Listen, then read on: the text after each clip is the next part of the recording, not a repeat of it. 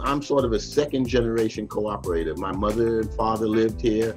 I met a Co-op City woman, got married, and stayed here with, and gave birth to Co-op City children. What makes Co-op City so special is that it takes in all kinds of diverse cultures, diverse people, and diverse thinking. We've gone from different spices to one big gumbo, if you will, in Co-op City.